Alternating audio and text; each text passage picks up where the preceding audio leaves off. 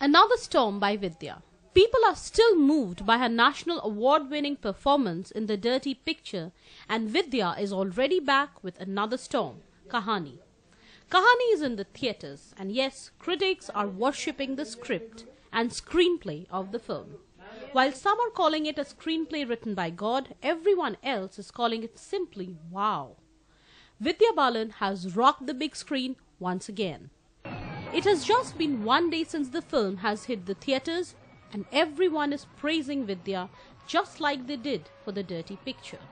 Vidya is playing the role of a pregnant NRI woman in the film who lands in the colorful city of Kolkata in search of her missing husband.